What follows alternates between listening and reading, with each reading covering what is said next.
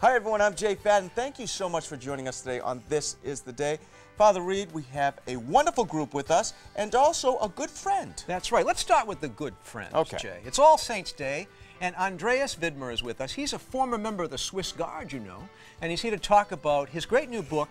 It's called The Pope and the CEO, John Paul II's Leadership Lessons to a Young Swiss Guard. And of course, we have some great kids from the third and the sixth grade, all saints in the making from Chevrus School in Sacred Hearts Parish. Father Dan Hickey's the pastor over there. Great pastor. Kevin, what will we hear about in the news today? Well, Jay, the Pope had a full slate of meetings yesterday. We go to the Vatican to tell you all about them. Also, the Pope prays for victims of flooding in Thailand and northwest Italy. And if you are Catholic, you will soon be allowed to marry a British monarch. All those stories head in the news, Jay.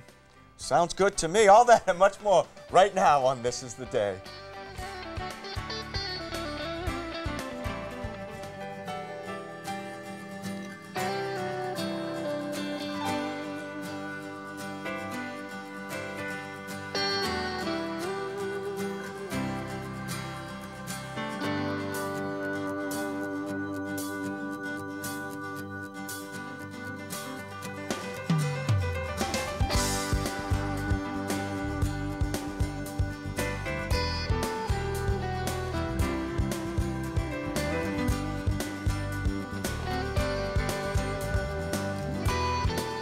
Hello, hello, hello. I'm Jay Fadden. Thank you so much for joining us today on This Is the Day. I'm joined by my wonderful friends, Father Reed and Kevin Nelson, and our great friends who have joined us here uh, in our living room. From this Chevrus. is awesome. Yeah, all saints in the making. And we actually have some actual saints in the front, or representations thereof. If you were watching Mass today, you would have met St. Francis of Assisi and St. Joseph and St. Theodore. Mm-hmm. I got that right that time. Uh, and then uh, Mother Ann Seton. And of course, the patroness of Catholic TV right there, St. Therese of Lisieux, the Little Flower. With your roses, by the way. I love that. Yeah. Uh, are you guys having a fun visit today? Yeah.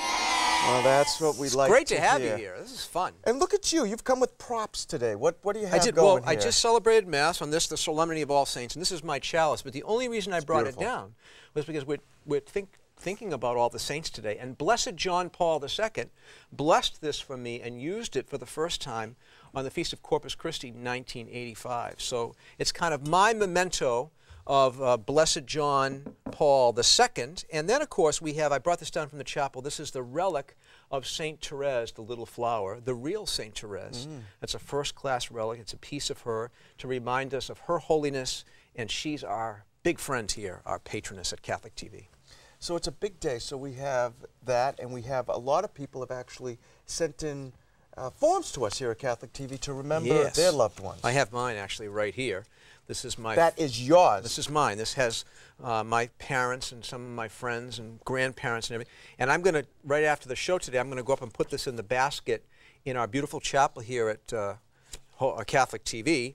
And uh, what we're going to do is at every Mass throughout the month of November, we're going to pray uh, for the people who have gone before us, that they too will join all the saints in heaven. You know, it's always interesting because when you lose someone you love, uh, it can be a very difficult moment. Yeah. But it's also a moment to reflect on what they meant to you and your life and how empty your life would be if they were never there. Sure. So sometimes you have to accept that sadness to know that someone you loved was in your life, which is always a great thing. And you know who, who filled out mine? My kids. Your kids. yeah. Good. They, they filled it out. They actually, they put you in there. I know you told me that. And you- it made me a little nervous. Yeah, you, you didn't know where to Yeah. go with that, so it was. And what do you think of this, though? So we have this whole group here. We've got third and, and sixth graders. Third and sixth, yeah. Uh, all Chevrus. dressed. A fine school. Do you guys like school? Yes. Wait, let's let's let's try that again. Do you guys like school? Yes. All right. Okay. Well, that's a little bit better. I just want to make sure because you know this is your big opportunity actually, where you you know you could talk loud because now we have to be quiet again. What we're doing actually is what we're dragging we're dragging the uh, the trip out a little bit for them so that they don't have to go right back to school. Not that Chevrus School is not one of the finest examples of Catholic school in the United States of America, and not that they wouldn't you know just be dying to get back to class, but we thought we'd drag it out a little bit for you. You don't mind, do you? No. Hey, why uh, why Saint Therese? Because I know Saint Therese is your favorite saint. A little flower. Right there. Yes. Why why is she your favorite saint? Well, you, you talk about people that we've lost. Well, uh, you know, the saints are the people that we know who have gone from our life and from this earth, and now we, we are certain that they're in heaven. And because they've been canonized, and there's a whole process that we go through, like we are with Blessed John Paul II. We'll be talking more about that later. But to know that St. Therese is in heaven, she's always been so good to me. Like when I've had problems and I've had uh, you know questions in my life, I've always kind of turned to her and said, "Hey, St. Therese, could you pray for me?" Mm-hmm. And somehow things have always worked out. So she's been a friend to me, and I thought that she would be a great friend to Catholic TV, and she has to this very day. Yeah, it's always important too that people realize that you can say to a saint, hey, listen, help me out here a Yeah. little bit, that you're not alone. Yeah, Uh, exactly. and we're not alone here because Andreas is with us. Andreas, is a Swiss guard. who's a Swiss Guard, and you know we like the Swiss Guard. oh, yeah, they're awesome. In awesome. fact, he introduced to, uh, to us a number of uh, this great Swiss Guard, past and present. One of them in particular, a corporal who is presently uh, a Swiss Guard, uh, Erwin, and we had a chance to talk to him right in the barracks on one of our infamous, or famous, I should say, little Viaggio a Roma. So let's take a trip to Rome right now and go to the Swiss Guard barracks.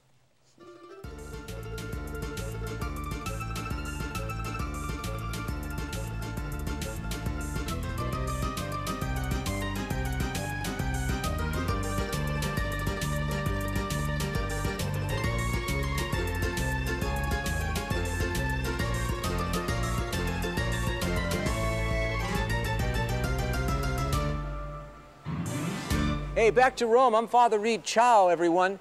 We're here in Vatican City. Actually, we're in the barracks, and I'm with a distinguished member of what is perhaps the best dressed militia in the world. Uh, Erwin, great to be with you. Thank you. Oh, it's wonderful, wonderful to see. You know, January 22nd, 1506 is the official date of the birth of the Pontifical Swiss Guard.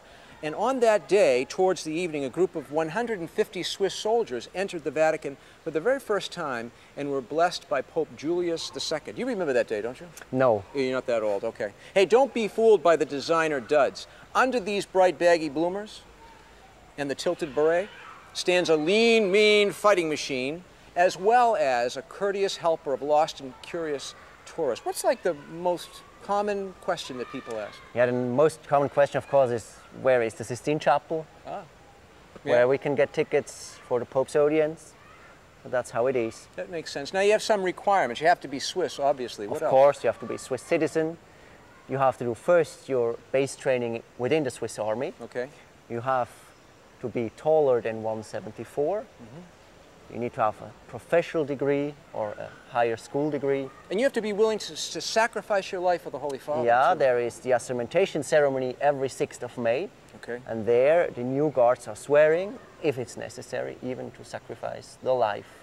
and you keep guard at all the entrances. You, you're there for liturgical celebrations in St. Peter's Basilica, the general audiences, during the visits of the Holy Father by heads of state or governments, foreign ministers, and, and ambassadors. The Swiss Guard is right there, and the main weapon is You may mean as the halberd, the Hellbard. That's it. That's but it. it's not. It's a part not? of the uniform, It's a part of the as uniform. the sword is. But the commander says always the first weapon of the guard is to speak, to speak. And Isn't that interesting? to touch. Uh-huh. And then you have other weapons, but I can't tell you.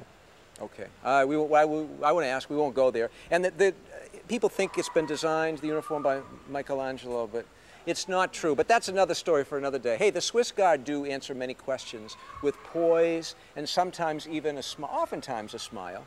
And it was an undercover guard, I think, who helped Pope John Paul II during the assassination attempt back in May of 1981 at St. Peter's, wasn't it? Okay, yes. Of course, because course. you've sworn to protect the Holy Father. The Papal Swiss Guard tradition has been marching on for over 500 years right now. Continuously active military corps, the longest one in history, numbering how many men? 110. 110. 10. The Swiss Guard may be the world's smallest army, but they're one of the coolest. Hmm. From the barracks of the Pontifical Swiss Guard with Erwin. Ciao, amici. Ci vediamo presto. Ci vediamo presto. Thank you. Thank you.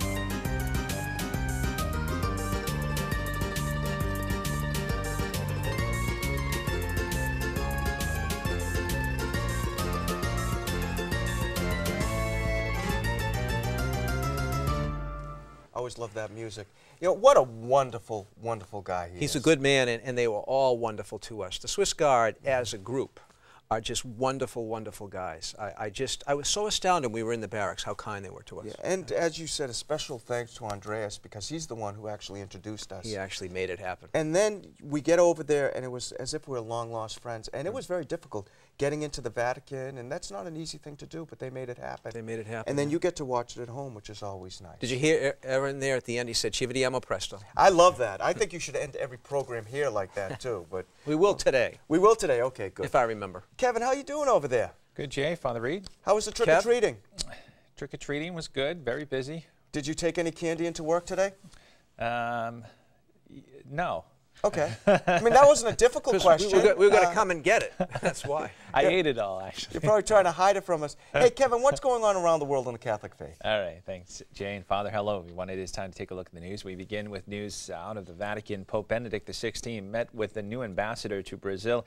Also had a meeting with heads of the Bishops' Conference from Venezuela and met with bishops from Angola. It was a busy day yesterday for the Pope, and Carol Glatz from Catholic News Service has all the details. Pope Benedict held a full slate of meetings this morning, starting with Brazil's new ambassador to the Vatican. The Pope asked the diplomat to pass on his thanks and appreciation to the Brazilian government for its openness in having Rio de Janeiro host World Youth Day in 2013. The church has long had an important role in Brazil, the Pope said, from Catholic schools and hospitals to the church's efforts in eradicating poverty and hunger. The Pope then met with heads of Venezuela's Bishops' Conference. The President, Vice President, Secretary General, and Cardinal Urosa Savino met with the Pope this morning. While we don't know the nature of the private talks this morning, the Venezuelan bishops are greatly concerned about the current campaign climate in their country. President Hugo Chavez is up for re election in 2012, and Venezuelan Catholic leaders have been among the harshest critics of Chavez's socialist policies. The bishops published two weeks ago a statement calling for greater civility and respect, since an election season can generate too much fanaticism and verbal and physical aggression, they said. The statement said the Christian vocation is to build reconciliation and peace and not further polarize one's nation. And lastly, the Pope continued a series of meetings with bishops from Angola, who are here on their Ad Limina visit to report on the state of their diocese. The U.S. bishops will be here later this week. The last time they came for their Ad Limina was seven years ago, in 2004. Looking now at news from around the country, the U.S. Bishops' Committee on Doctrine, in a response to Sister Elizabeth A. Johnson's defense, have reaffirmed their concerns that her 2007 book, Quest for the Living God Mapping Frontiers in the Theology of God, is seriously inadequate as a presentation of the Catholic understanding of God. The committee, chaired by Cardinal Donald Wuerl of Washington, said that Sister Elizabeth's response to their original critique of March 24th had not, in fact, demonstrated that the committee has misunderstood or misrepresented the book. Sister Elizabeth, a sister of St. Joseph, is a professor of systematic theology at Fordham University. She's currently on sabbatical, but released a statement in response to the committee's findings, saying she read the statement with sadness. She also said she was disappointed in the way the committee addressed its response, pointing to the process the bishops undertook, the content of their message, and the result of their findings. She said she wanted to make it absolutely clear that nothing in the book dissents from the Church's faith about God revealed in Jesus Christ through the Spirit. The bishops noted in their statement that Sister Elizabeth explained in her response that her book expresses the Catholic faith in different words but with the same meaning. But the bishop said when the committee examined the particular points at issue, they were confirmed in the judgment that these different words do not, in fact, adequately express the faith of the Church. The bishops also said their comments were referencing Sister Elizabeth's book and were not intended as judgment of the personal intention of the author. In other news now from the Vatican, there has been severe flooding in Thailand, which has affected an estimated 2.8 million households, as well as caused more than 380 deaths. In northwestern Italy, at least nine people have died after heavy rains caused mudslides and flooding. Pope Benedict XVI talked about both these natural disasters as at his Angelus address. Rome Reports has all the details. During Sunday's Angelus, the Pope prayed for the victims of the recent floods in Thailand and Italy. Vorrei esprimere la mi- mia vicinanza dei popoli della Thailandia colpiti da grave inondazione, come pure in Italia a quelle della Liguria e della Toscana recentemente danneggiate dalle conseguenze di forti piogge. The Pope said the best way to help society is by supporting those who are close to us and also by living an honest life. Christ urges us to combine humility with our charitable service towards our brothers and sisters. Indeed, may we always imitate his perfect example of service in our daily lives. The role teachers have in society was also highlighted by the Pope. He said they're called to be a true example for their students on a daily basis. And finally in the news, one of the reforms that have been announced by the 16 nations that have Queen Elizabeth II as their constitutional head of state is that the law that bans a British monarch from marrying a Catholic is to be lifted after more than 300 years. But they will not include the repeal of a Catholic becoming monarch because allegiance to the Pope might conflict with the sovereign's rule as the supreme governor of the Church of England. The announcement made at a recent summit of Commonwealth heads of government in Perth, Australia, was welcomed by Catholic leaders in Britain. Archbishop Vincent Nichols of Westminster, president of the Bishops' Conference of England and Wales, said this will eliminate a point of unjust discrimination against Catholics and will be welcomed not only by Catholics, but far more widely. The reforms also included an end to the ancient tradition of the male primogeniture, the rule under which boys take precedence in the line to the throne over elder sisters. The reforms will be included in the next British program of parliamentary business to be unveiled in November. And that is all the news we have for you on this Tuesday, November 1st, 2011. We're going to send it right back over to Father Reed and Jay with more of This is the Day. Hey, Kevin, before we get to Andreas, I got this letter. Uh-oh. Yes, I did. I'm looking forward to watching House and Home. Is Kevin cooking? Are you going to be any, doing any cooking? I just want to know that for Pauline. I'm not at liberty to say, Jay, they have uh, kept me under uh, lock and key. I can't give any information. Can I be honest with you? Because I was there. Yeah. I think I did more cooking than he did. Oh, really? Yeah. Yeah, well, that's, that's not a I surprise. think I think supervision is a very important process. well, Pauline's also looking forward, by the way, to the sitcom. Um, she says it seems very funny, so We'll see. Very good. Kevin, we'll see you a little later on. Joining us now is Andreas, who has always been so great to us here at Catholic TV. When Andreas, when I heard you were going to be here, Father Reed and I were talking about it this morning. Always look forward to it. Always look forward to it. He's the author of a great new book, uh, and it's he tells us about being a Swiss Guard during the papacy of the Blessed John Paul II, who we are all great fans of. So again, thanks for being with us today. How are you Thanks doing? Thanks for having me. I'm great. Yeah, well, I learned something. I didn't know you were a soccer coach. I learned that today. I am of the yellow team. Of the yellow team, of the infamous Yeah, the yellow infamous team. And Scott Landry, the two of you. What a Together in dynamic Scotland, duo. Yeah, yeah. And there's a third coach too because we have like 30 kids. Do you really? Yeah. Wow.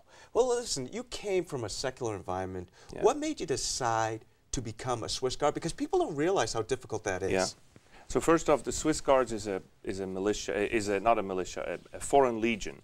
That means a foreign legion is when you serve a foreign head of state. So usually you'd go to jail if if a, an American would go into the French Foreign Legion, you'd go to jail when you come back. But the Swiss have a special arrangement with the uh, with the Vatican uh, that you can go and serve there and give up your pa- passport while you're there and then come back and they won't prosecute you. So the Swiss guards and the Swiss government or army are not really connected. It's separate. Um, and the reason why I became a Swiss guard is because being a becoming a bodyguard is about the coolest thing I could think of when I was 19 years old, and that's why I did it. The fact that it ended up being the Pope that I would protect, that was great. But bodyguard, that's the coolest thing I could think of. You And- look like a bodyguard too, by the way. and you know they loved the size and everything. I was a little fitter then, and um, I just did this for purely, uh, in that sense, selfish reasons. That I thought be, becoming a bodyguard was just I couldn't think of a better thing to do. And this is a picture of Andreas when he was but 20 years old, a young Swiss guard. and there he is. You haven't changed that much. Not a bit. No, not at No. all, not at all. But what was it like? You know, John Pope John Paul II, such a wonderful, great Pope, now blessed. What was it like? What kind of an impact did he have upon you? Now let me start first. You see, when when I became uh, as an adolescent, I'm a product of the 70s, right after Vatican II. Things with catechesis weren't so great. I, I knew more about Buddha than I knew about Jesus Christ after my religious education, and so I wasn't really uh, into my faith. I certainly didn't have a personal relationship with Christ consciously, and so I come there and I see this man. I was introduced to him in a sense. I didn't really know what it meant to be the Pope and all that. So I wasn't. I wasn't like in awe at, at when I when I'm you know at, at who he was as far as the papacy is concerned. So I just met him as a man, as he was my boss. Sure. And after a while of serving him and uh, observing him every day, I, you know, I went to the guards sort of seeking. I didn't know who I was. I, I, I certainly sort of felt, uh, you know, as a 20-year-old, 19-year-old, you're not sure of who you are, you are, and you sort of seek uh, your place in the world and everything. And I was insecure. After watching him for a while, I said, I, I remember the moment of thinking, gee, whatever this guy has, that's what I want. Mm. Because he was the most authentically human person that I ever met in my life. And that made a huge impression on me. So here you are, you go over your 19 year old kid. Yeah. And you're really going over there. You, it's a cool thing, going to be a bodyguard. Yeah. And all of a sudden, you meet the Holy Father for Catholics, you know, apostolic succession. It's a huge deal for us, but for you, you know, you're going to be a bodyguard. Yeah. Was there really moments that you can remember in detail that, well, not in detail, but Yeah. you can remember where you just said, oh my goodness, I am standing in front of an Yeah. extremely holy man? Once I was asked to protect him during a rosary, and there were about 50 or 100 people in the room, and I was standing next to him in front of him, and he was on a prie dieu, on a kneeler, and he started to pray. And after a while, I started to feel peaceful and mm-hmm. fulfilled. I can't say it in a different way. People who listen to this might think- think that that's strange, but just take, m- take my word for it. I felt different after he started to pray. My first reaction was, he's faking it. And I thought, hold on a minute. Actually, I feel different. How is he faking it if I feel different? And I just, uh, that, that was sort of the opening for me of saying, maybe there is something to this. What, if, what if this is true? What if Christ, wh- what if you can actually have a personal relationship? Because Christ died, yes, but he resurrected as well. So if Christ resurrected, then he's alive. Then he's a person, and I can have a relationship with this person? That made me very curious, and I explored that. And this should make all of us curious about your new book here, The Pope and the CEO, because a lot of revelations came to you and lessons uh, that still uh, deeply touch your life and affect the way that you act as an entrepreneur now. Uh, tell us about the book. What, what made you write this? One of the key things that I learned from John Paul is the value of vocation and the value of work. Vocation first. The fact is, uh, you know, the Catholic Church teaches about the universal vocation, primary and secondary vocation. That, if you look at it in theory, may be a little dry. But what I found out is that the primary, the, the universal vocation that we have is a, is a vocation to fulfillment and happiness. And the most happy we could be is we saw the kids here before and, and playing the saints. The happiest you could possibly be is to be with God in heaven. That is our universal vocation. We're all called to this. God wants us to be happy and He wants us to be with Him. So we're all called to that. What do you have to do in life to be that, to get that? It's, um, it's in a sense like we're all trying out for the Red Sox. And to be on the team is the, is, is the, is the heaven, sort of an, as an uh, allegory. Um, but we have to train for that. You know, so, so you're going to be called and you can, you can pitch and everything, but at the end of the day, uh, we receive a great amount of grace to get there, but we also can do things to get better at this and to actually get onto that team. John Paul would always say, it's actually not that difficult to become a saint because God wants us to be saints and God gives us all the tools in life to become a saint. That leads us to the second and uh, the first and second level of vocation. The first level is my, my, my way of life. You may be called in your life to become to, to consecrate your life as a priest. Uh, as a layperson, you uh, or a priest, a deacon, as a layperson, you maybe be called to be a brother or a sister, or a consecrated layperson, a single person, um, or you may be called to uh, to marriage. Um, that is that is a tool that God gives you uh, to to uh, uh, to help you fulfill your life and find that path to sainthood. Secondary, secondary, uh, the, secondary vocation then is to say, I like to say, the secondary vocation is about saying, okay, so what are you going to do all day? You know, we know that what you're called to, we know what your particular way of life is. Now, what are you going to do? That's the secondary vocation. That has to do with work. And John Paul pointed out that work is not something that is caused by sin. You know, when you look around on a Monday morning and you see all the grim faces going to work, you think that, that work is a cause of, of sin after the fall, but that's not true. God uh, asked us to work and imitate Him as a worker. He created, He's the creator, He's a worker. And He asked us to join Him in paradise to continue the work of creation. That's what our work is all about. And so when you're looking at your work, uh, God didn't make us work to do more, He made us work to become more. Mm. Could you ever have imagined as a 19 year old kid that here you would be just a few years later, would sit here, though, really evangelizing? Mm. This is what the gift that yeah. Blessed Pope John Paul II gave to you and so many of us. You know, when I left, uh, my last audience with John Paul was in December of, two, uh, of 1988.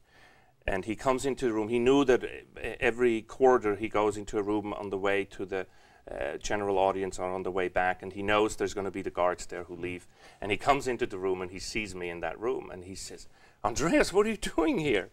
I said, Well, I'm leaving. He says, You just started. What? and he said, All right, wasn't I good to you? Don't you like it here? Is there anything I can do?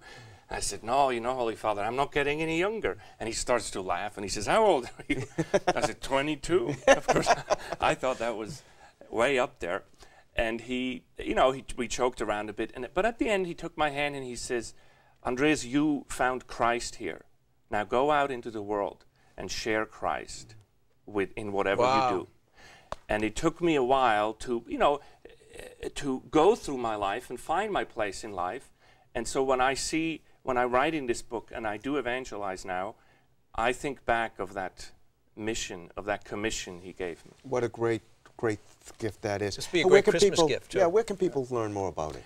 So I have a website called The Pope and the CEO. I get a lot of feedback. It's been out for a month now, and I'm I'm very happy to say that a lot of people buy more than one book because this is a, the book is written in a way I'm a business person, I'm an entrepreneur, and I'm writing about it from that perspective. So a lot of people that I, uh, that I hear from buy the book and then buy several books to give away to other people to sort of evangelize to the person who may not regularly go to Mass or so, um, to find a way in to find meaning in their work.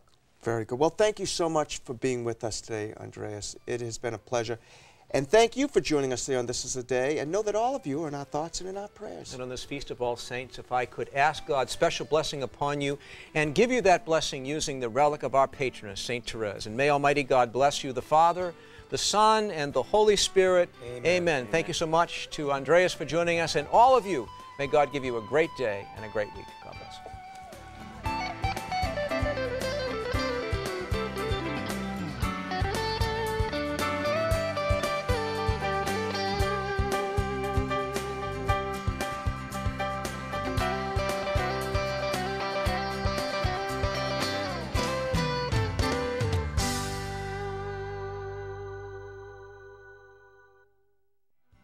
Hello, everyone. Father Reed inviting you to join us here in the Catholic TV living room for This is the Day on Friday because Deacon Paul and Mrs. Jackie Iacono will be with us to talk about the Fra Angelico Institute for Sacred Arts in Rhode Island and pursuing what Pope Benedict has called a culture of beauty. It's all happening right here in the Catholic TV living room this Friday on This is the Day on America's Catholic Television Network, Catholic TV.